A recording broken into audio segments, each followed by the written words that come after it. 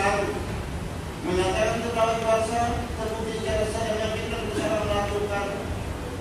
tindak pidana korupsi secara bersama-sama dan berlanjut sebagaimana dakwaan dasar pertama. Dua,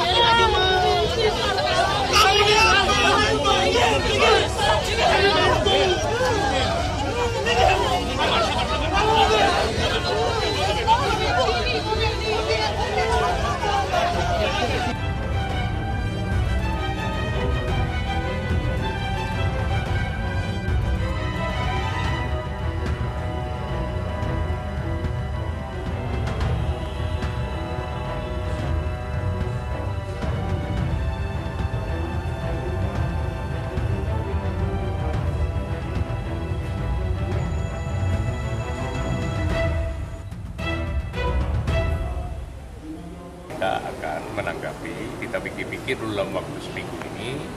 kita analisa apakah putusan hakim itu sudah sempurna atau belum, lalu kita nanti akan mengambil sikap. kami akan mempelajari uh, putusan tersebut kemudian selama masa pikir-pikir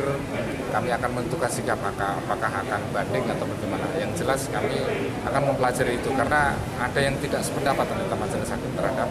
apa yang kita minta pendapatnya gimana? Ya dakwaan menerima gratifikasi berupa uang yang satu miliar dan handphone tidak terbukti